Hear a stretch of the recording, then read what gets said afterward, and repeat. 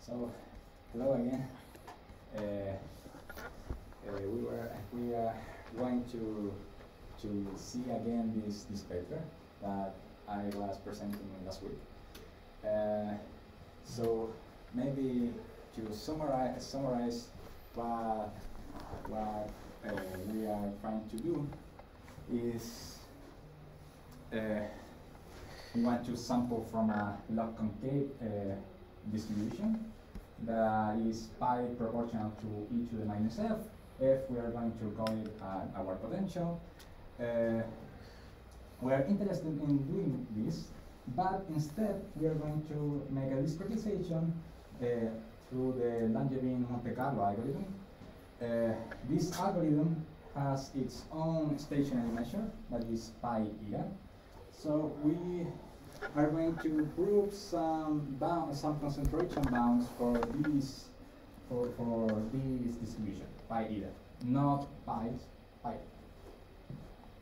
Uh, so, well, I already uh, told you about this, but uh, uh, we know that when the potential F is smooth and strongly convex, then the, the, the distribution pi satisfy logarithmic Sobolev inequality.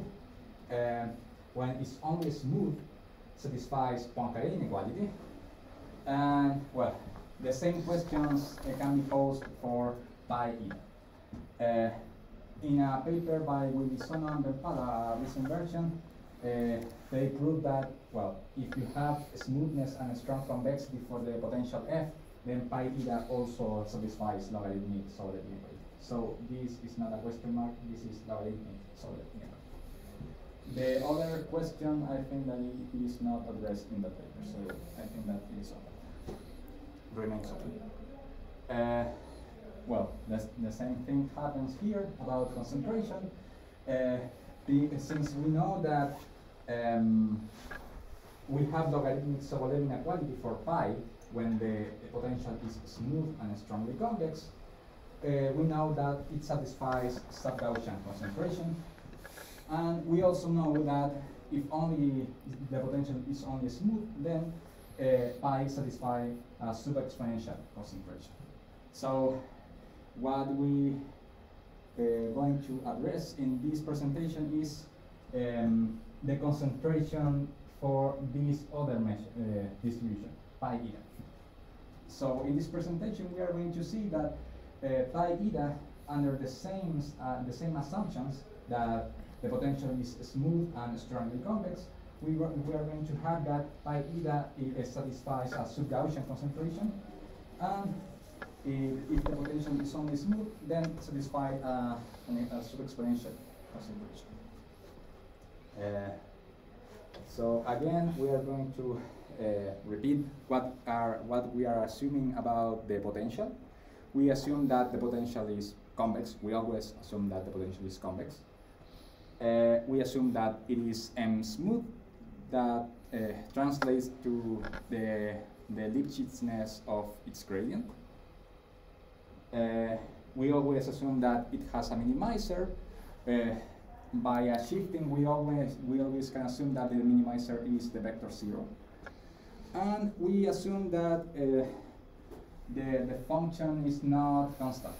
There is a radius uh, such that if we are uh, a distance at least r from the minimizer, then we are greater, strictly greater than the function on the minimum.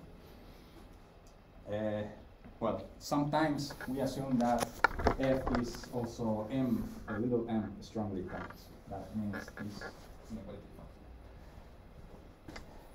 Uh, okay, so again, the way that we want to prove this, this uh, at least the sub-Gaussian concentration is through a bound uh, of the moment generating function. Uh, we, uh, I am not going to repeat that. Um, in fact, I want to go to the, maybe go to the theorem directly. Uh, yeah, that, that, that's it. So, um, yeah. here we are going to prove uh, this theorem that uh, for strongly convex potentials and also M smooth potential, uh, strongly convex and M smooth potential, we have a sub-Gaussian concentration for the pi eta distribution, the distribution of the I Um, yeah. So um, I want to read this. We're going to, if you uh, suppose that f is a m strongly convex function that is m smooth, uh, that we are running a Langevin Monte Carlo with this step size, and then we are going to have that this concentration bound, where this constant c that appears here is a contraction constant. It is always um, less than 1, at least in the strongly convex case. For the smooth case, this constant is 1. Hmm. So, yeah, uh, we are going to try to prove this theorem. Uh, I don't know if there is any question. I, I went ultra fast. Yeah. Uh, no, but this is a summary of last time anyways. Okay. Uh, so, um, yeah. So let's go, let, us uh, introduce the, the, the objects that we need to prove this theorem. Uh, we are going to define this big phi function that in the paper they call the Lyapunov function.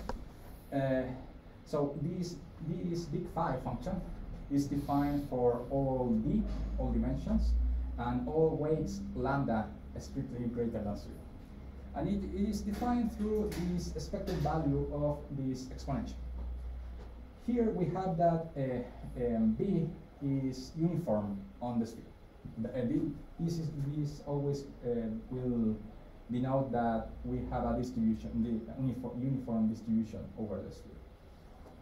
Um, and in fact, you can see that uh, this looks like uh, a generating function. Some kind of, kind of. Uh, so we, the idea is that we are going to to bound this function, take, take uh, then take expectations and then uh, deduce the the bounds and the concentration bound, like uh, Chernoff type uh, argument. Uh,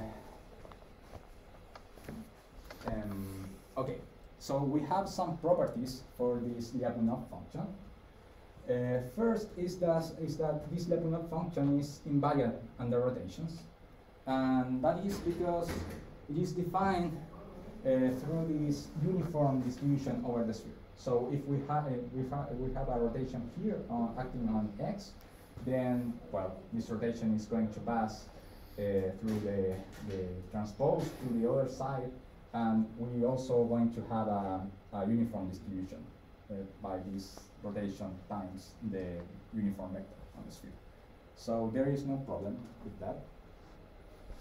Uh, and in fact, that, that implies that this big phi function can be written as a little phi function that only depends on x through its norm, through its, its norm. Uh, and yeah, I, am going to write these properties. Um, so the Lyapunov function can be written in this way.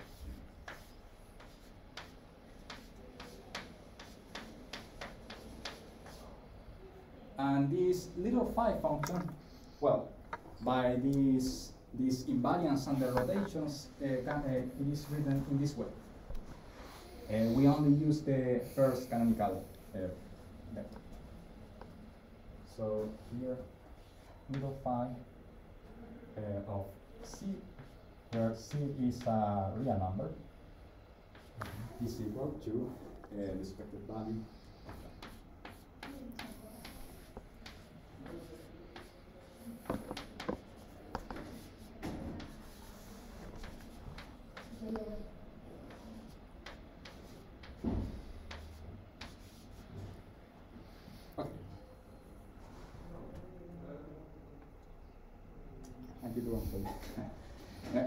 second, the second property uh, says that, uh, in fact, we ca in, instead of writing this expected value, taking uh, the uniform distribution over the sphere, we can, we can take the uniform distribution over the rotations.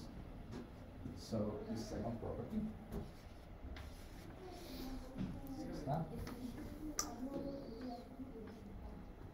Mm. No, está mal escrito. Ah, no, sí está bien.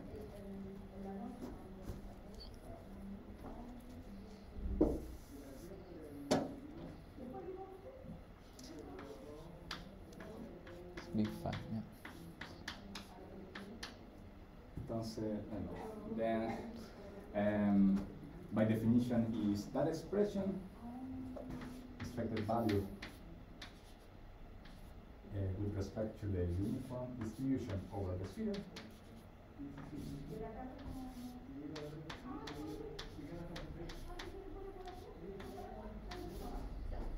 And this is equal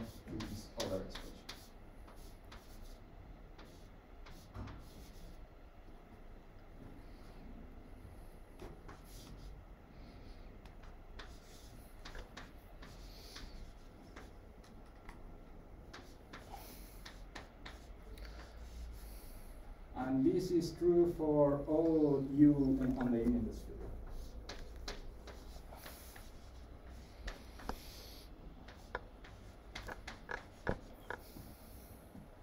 Uh, third property, uh, well, this is not important for the proof, uh, but this little phi function can always be written in this way, where this is the gamma function and this is the Bessel function.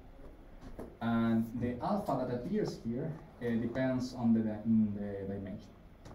Uh, yeah. Mm -hmm. uh, yeah. but um, yeah. this, this last expression is, is not defined with, with when c equals to zero, but the first one is fairly well defined. Ah. Yeah. What is the problem? Are we allowed to take ah, z equals no, zero? You don't have problem because you have the Bessel function. Yeah. The multiplication allows to, to arrive to the, the, the limit should be one. Yeah. That's all. And also, uh, we are taking always, uh, uh, yeah, we are taking always uh, lambda greater than zero. Uh, uh, no. Oh yeah, I think. I guess. Yeah, I, yeah. There, there is no problem with the definition. I think that uh, you can always uh, take the limit. yeah. Yeah, yeah, I know. I know how this particular Bessel function Uh, looks like, but should be. Yeah, I, I think that for, for the proof, it, is not really important how it looks Mhm. like. It has a property that it is relevant for the sub-exponential concentration. Um, so I am not going to write that, but I'm going to write this, uh, that it says that this Lyapunov function behaves well under Gaussian convolution. So,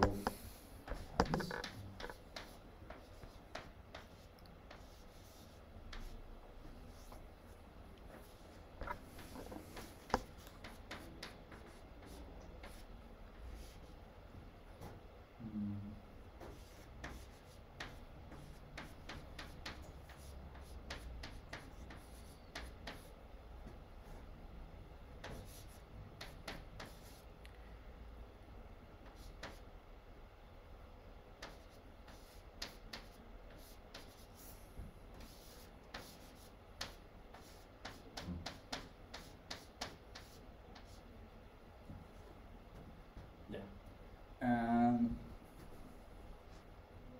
uh, yeah. We also have that this little phi function is always positive and increasing on, well, the, the positive axis of the reals. I think that, in fact, it is strictly increasing. I think that is not relevant for.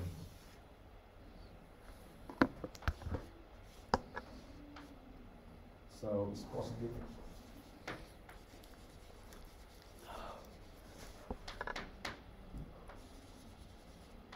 And increase.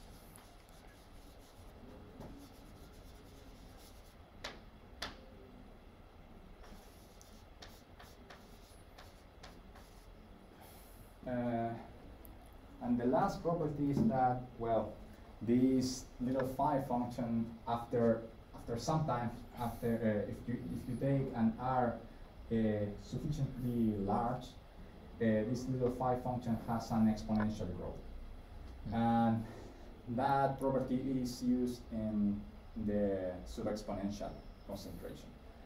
And in fact, the, the constant that appears here depends on d, and I don't know if you remember from the from the last session, but the sub-exponential concentration has some some appears some constants, and it, and they are not very well quantified.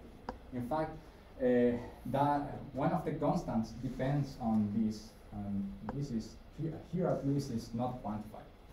So, yeah. Uh, I'm not I'm, I'm not going to write that for the moment. I'm going to focus on the theorem. Yeah. So we're going to prove this theorem.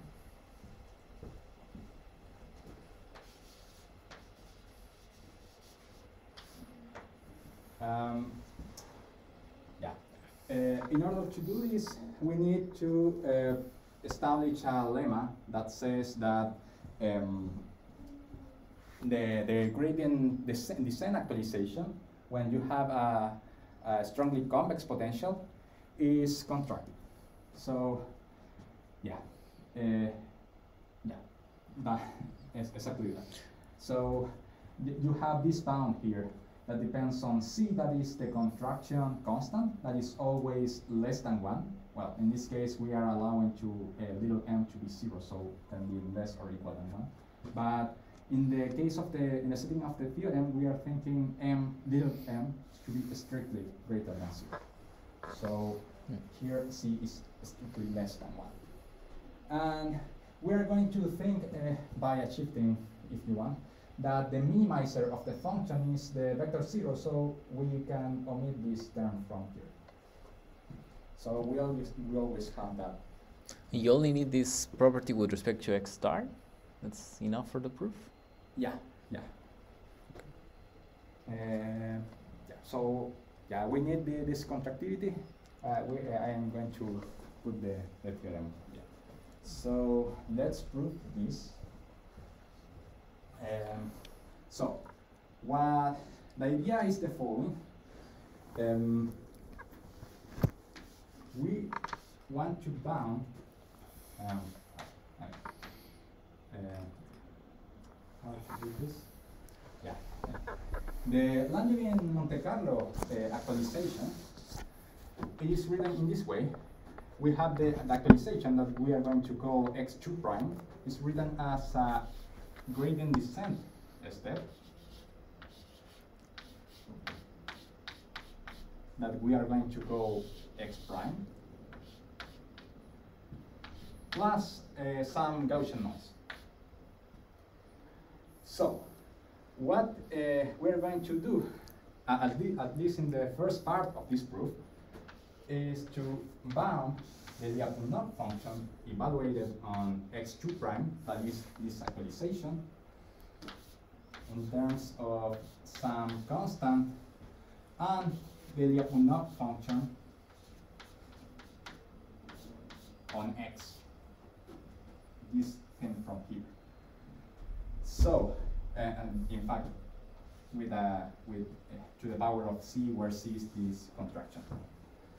So if we have this, then we are going to take um, expected value uh, with respect to the stationary distribution, uh, because uh, since the um, since it is the stationary distribution, if this x has this distribution, then this x2 prime also will have this stationary distribution. Mm -hmm. So that, that is the, the idea we are going to prove that.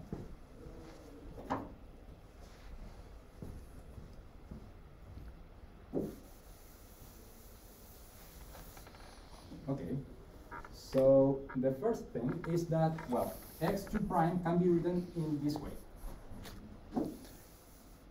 Yeah, can be written in this way. Uh, we have a way to control this Gaussian noise by the uh, fourth property. So in expectation, in expectation,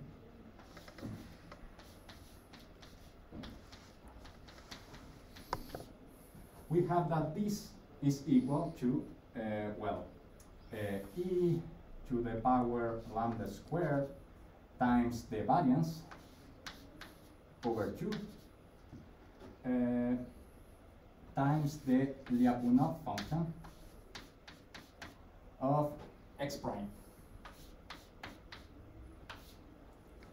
And this variance is equal to 2 lambda by the definition of the Langevin Monte Carlo algorithm. So this is, in the end, this is um,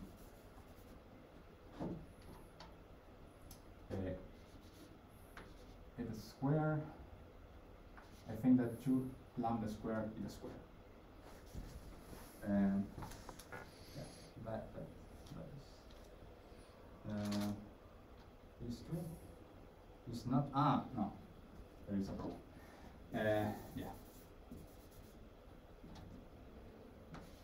Sigma square is equal to 2 lambda. Uh, so sigma square is 2 lambda, so we replace this by 2 lambda. And we have 2 lambda over 2, so this is only lambda. Lambda squared eta? Uh, no, because uh, we have that the variance is equal to 2 eta. Ah, okay. So, yeah. Mm -hmm. Um, yeah. So now we have this, this relation here. We are going to try to bound this, this other expression, the Lyapunov function on x prime. So, um, okay.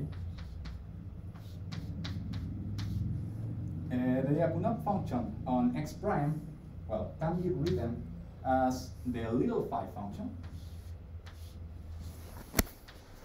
of lambda times the norm of x prime, but x prime is the gradient descent actualization.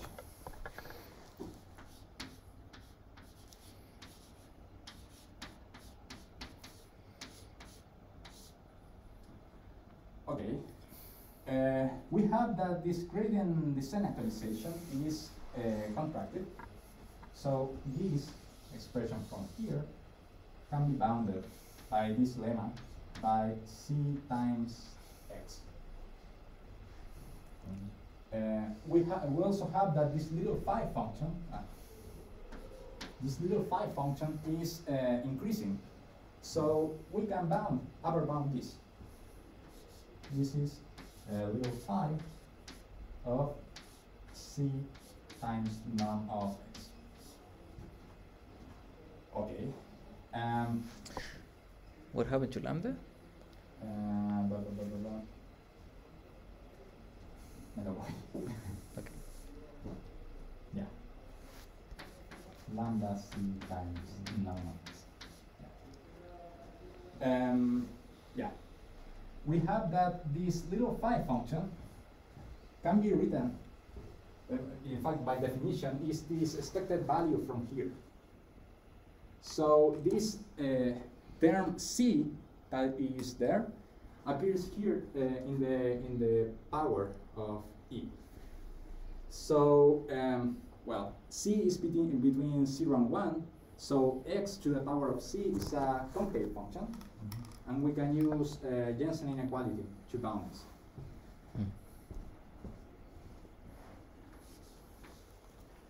So we can bound this by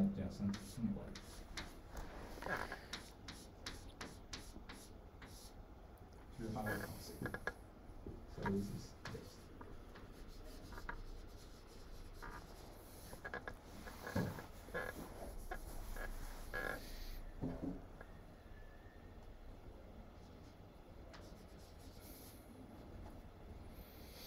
Well, uh, practically by definition, this expression from here is the Lyapunov function that, well, the big phi. So this, can, this is equal to the big phi of the lambda of x, x to the power of c. yeah. Um,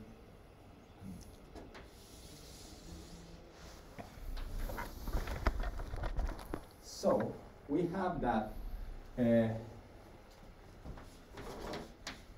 expected value of x2 prime, Lyapunov function of x2 prime, is less or equal than e to the power of lambda squared eta uh, times the Lyapunov function e lambda x to the power of c.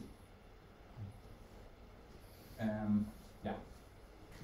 So what we are going to do now is to um, take expectation with, with uh, using that x follows this stationary distribution. So um,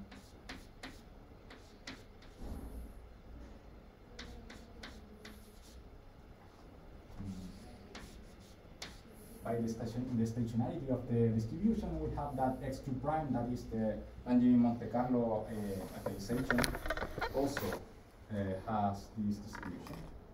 So we have this.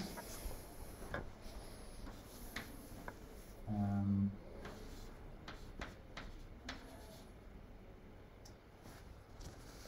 and, and out space.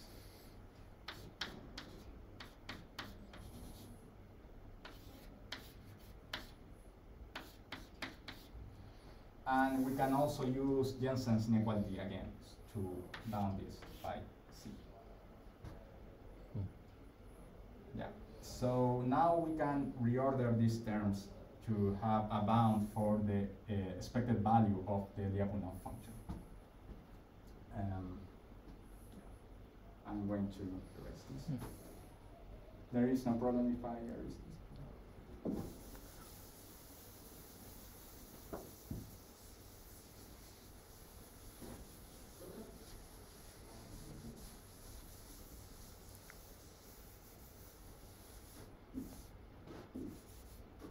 Um, yeah, we can reorder this. So yeah, yeah. So we have if we reorder this, we have that the expected value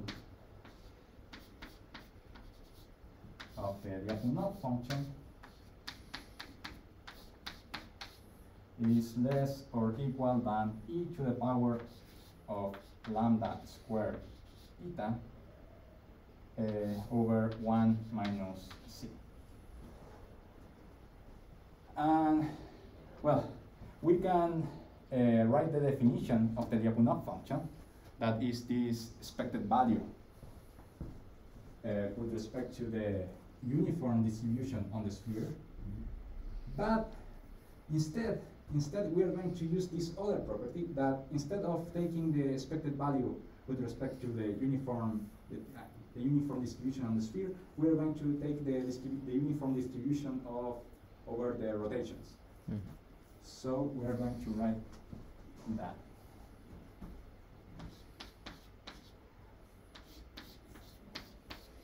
Um, yeah.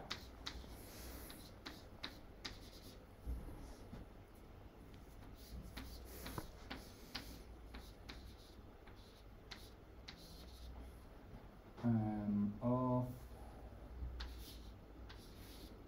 e to the lambda u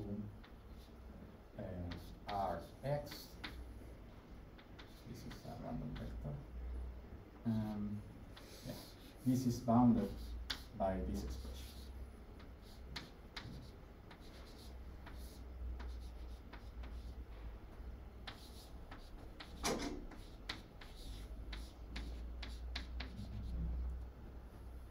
Yeah.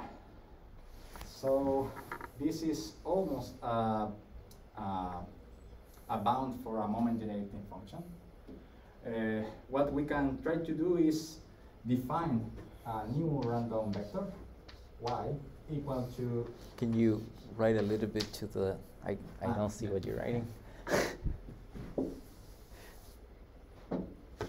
we can define a new vector y Mm. equal to rx. Mm. this is our new random vector.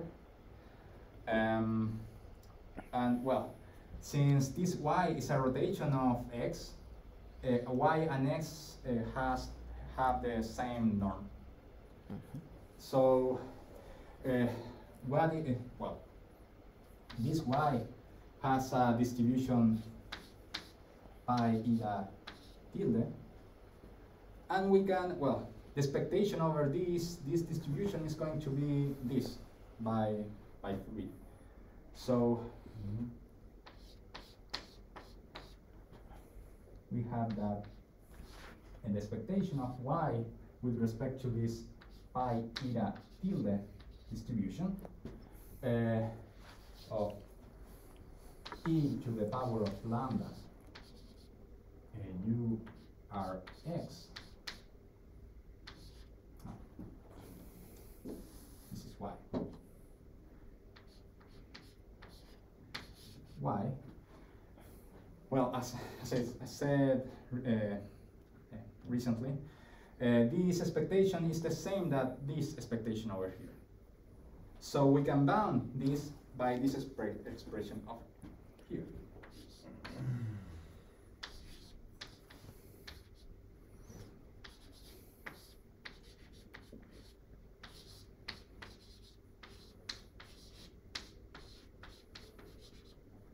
And this is a moment generating, a bound for the moment generating function for y.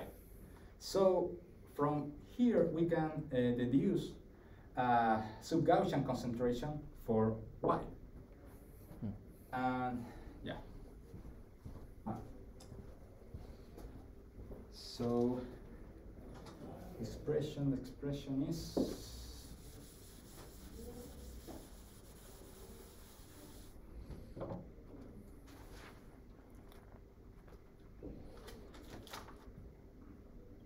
we have done um,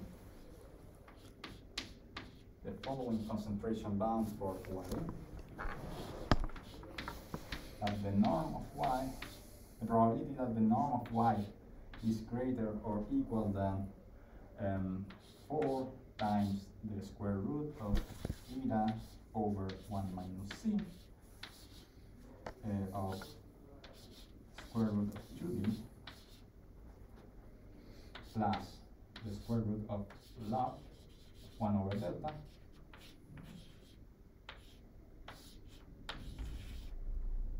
uh, is less than delta. Um, yeah, so since this y, this y random vector is a rotation of x, a random rotation of x, this y and x has have the, the same norm, so they have the same the same uh, concentration. So yeah, the this is the expression of the theorem that is not longer in the, the projection. But yeah, to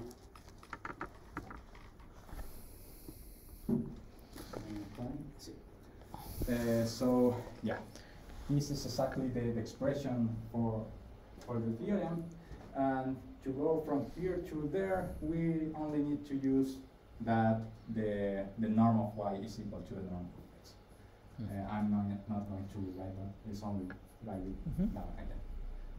Uh, so yeah, um, uh, there is any question about the, the proof? so then we use that, uh, what is the previous result I used here, that if you have a uh, the moment generating function satisfies that inequality, yeah, yeah. then you have a sub-Gaussian. Yeah, for y. Right, right. What that, that, that, result, you had this result before, right? What, um, um, the slides or. Ah, yeah, yeah, yeah. yeah. So, uh, yeah, I. I just want to see what you use that time. Um, yeah, I see. That, that is an idea, yeah. Okay. So, the idea is to prove a bound for a moment generating function. What moment generating function, or which moment generating function, uh, it is clear in the proof is for y, not for x. Yeah, no, that's, uh, that's uh, kind of the trick of the new proof, yeah. Uh, yeah, yeah, that's good, yeah. I think that he a pretty smart uh, way to, do this. I don't know what time is it. It's So, so the claim is that the, this probability over pi eta tilde of the norm of y is exactly the same probability as of pi of eta over norm of x? yeah, Yeah. yeah. Um, Yeah, I guess that they have, they should have the same law because of that equality. I, it makes sense to Yeah. me. I, I didn't prove that claim. I think that it Mhm. makes sense. um, yeah. Yeah, That okay. is uh, Mhm. the claim. Uh, I think that I don't have time to prove the other concentration bound, but uh, I don't know. I, I in um, the impression that it gave me that this proof is that it is not as smart that as this this or subgaussian. I think that the the techniques was the, the technique was developed for the subgaussian and then used for the, the adapted the, the the objects to prove this other. And yeah, yeah, and it is quite messy, so I think that I'm not going to. But, but can, can you say is, is, is actually just trying to use the same technique like a brute force or? Uh, I, I mean, is there new ingredients or like, I, I guess you have these other properties you haven't even used Yeah. yet, right? uh, I, yeah, they need to use them. What property that I didn't didn't use? Um, yeah, the. I n- and they need to use this uh, exponential growth for this little phi function. Hmm. Um, and they also need, to, yeah, there is another lemma that they need to use. That if you have a log concave probability distribution, we have we are thinking here pi as a density function. Mhm. You you have that this uh, pi is always sub-exponential. It must be Log sub-exponential. concave implies of exponential. Yeah, So uh, the potential that defines this pi uh, must uh, be uh, superlinear. They need to use that, and that if you have a convex superlinear uh, objective function, the gradient descent always makes these these products. This is just because f is bounded by, below by a linear function, that's all. Yeah, Mm. No substitute. And But, I mean- again appears another constant that depends on f, but is not quantified. So. Ah, I see. They, they, they use this, the, the constant that appears in the theorem depends on, on this, on the constant for the superli for the exponential growth of the little phi, and this constant from the, Mm. the um, So- uh, sufficiently uh, sufficient uh, progress for the superlinear function. So this this second lemma you showed is is, is interesting, right? It, it says that I guess it's far This- enough. No, uh, this one. Yeah, Far enough, you're contracting with your iterates. Uh, it's not a multiplicative contraction; it's just like an additive one. Yeah. Um, Yes. but then, then, then I guess this is just far away enough, right? It's not cannot be true everywhere. Yeah. Okay. Huh. Uh, uh, yeah, it's Mm. yeah. Cool. Okay. Uh, yeah, I think that uh, yeah, yeah, this other Yes. proof is too messy. Then the result is true for m smooth convex function, but that enjoys this superlinear growth condition? Yeah, That's enough. Yeah, yeah, that is. is they uh, I think that they not do not prove this. Yeah. Okay, They, they don't but- prove this. But there is a, an extra assumption. Yeah, yeah, yeah. It's not just, yeah.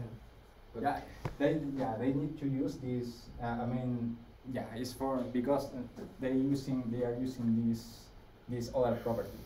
And, and yeah, I, I saw the, the book that they make reference here, and in that book they in the proof of this lemma, I think that they also do not quantify this constant from here. So, Which book is that one?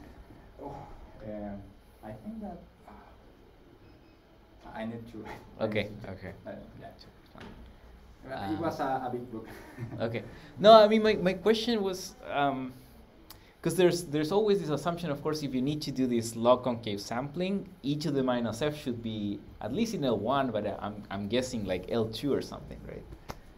and it's never been clear to me what kind of growth conditions on F you would need. Certainly, there's there's sufficient conditions, but I, I, I don't know if there's this well established like Mm. that for integrability of e to the minus f, you need that f grows like something. Mm. Um, Uh, I mean, this is one of the conditions. and this is this seems to hint upon that, right? Th- yeah, like this is net, this is necessary. I think that a sufficient one is that you have a minimizer for the function, and Okay. you have uh, well, it is not constant. Uh, I mean, I mean, no, it's not. Yeah, it is not constant. Yeah, I guess. Ah, I now I'm thinking maybe it relates to the fact of having a global minimum, and then some kind of uh, uh, support function. Like you can build a support function around this thing. Like that should control somehow the integrability. I'm guessing. Okay. Mm. Okay, that that would be nice to know. I yeah, it's pretty inst- Yeah. interesting uh, when this this is true. Yeah. This, this condition for in, even in this strongly convex case. This condition, you No, know, but maybe strongly convex is always integrable, right? Yeah, no, no, no, but I have a, a different question maybe for you. You, a, a, a strongly convex function, in other words, when you have contractility with the, with respect to the minimizer, that is equivalent to have strict convex, strict convexity? Because it, it seems a little bit more general, no? Yeah, I don't think so. No. I, I, like having contractivity with respect to the minimizer. Because the, the, the operators like that are known, like they call it pseudo contractivity. Yeah, yeah, they T of x y minus Right. x star smaller than a constant, Yeah. smaller than one times the norm of x minus x star. Right. Which is less than having contractivity all over the place. you know. Mm. But it seems that they need only this condition in that point. Yeah. My yeah. question is, there is, there are some convex functions that are not strongly convex. That's- that's right. and- and that have this I- property or not. I don't know by heart, but I'm, I'm pretty sure that these these two classes are different. Like if you're having contraction with respect to the solution, Yeah. that's that's basically what you need for these like uh, Fejér monotone Yeah, sequences and blah blah blah. Absolutely, it's a, right? it's a well-known thing. But but for instance, if uh, you know, I, I'm I'm sure that for instance, if, if if your norm is not Euclidean, no, it's it's not the same Mm. because it's very hard. I, I mean, it's very hard to prove contraction for norms which are not the two norms, right? The non non Euclidean norms. Yeah. Yet, you would have this contraction around the optimum always, like. Right. So I I I, think not, but I, I I don't have a reference. Because it is interesting the way that they put this result, you know? So we have this condition yeah. in the whole space, and then we were using it only on this point to have this, this very nice trick, you know? Well, but what I did present required uh, contraction property Yeah, everywhere, right? So the mixing For- for- times. For the mixing time, I, I, I agree, yeah, because I read that. But for concentration. Yeah. mm, Not. yeah. Cool. So next time uh, Max is going to present. Uh, yeah, I guess there's not enough time for for you today, but yeah, thanks Juan Pablo again. Uh,